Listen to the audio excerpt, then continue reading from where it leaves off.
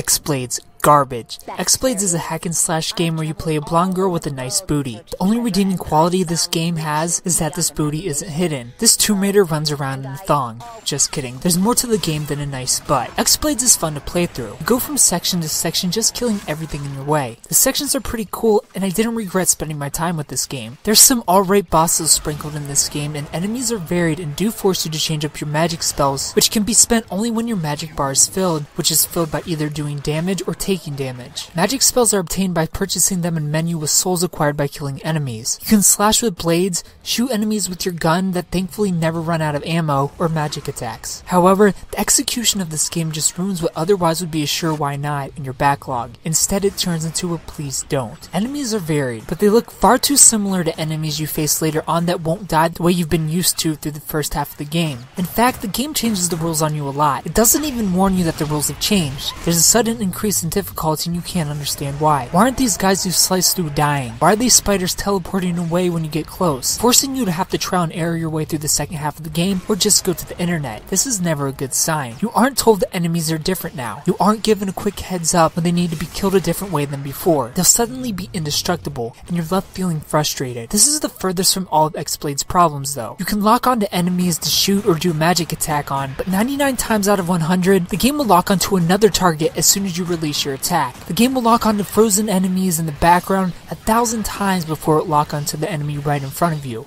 And I wish this was an exaggeration, but it isn't. The game is broken, and you see all there is to see about halfway through the game. The second half is just fighting stronger enemies in the evening versions of sections you just played through, minus of course the final boss sections, which are new. I was hoping X-Blades would be one of those underrated gems that critics just didn't appreciate back in the day, but its level of trash holds true even six years later. This game has its moments of fun, but the story sucks, the voice acting is worse than Duck Dynasty, and the combat is broken. For what it is, an hack and slash action adventure game 6 out of 10, and as an overall game, 5.5 out of 10. If you played X-Blades, tell me what you thought about it down in the comment section below. If you haven't played it, tell me if you plan on picking it up. Thumbs up if you like the video, subscribe if you're new to the channel, and tune in Monday. First impressions where you find out what game we're playing next. Thanks for watching.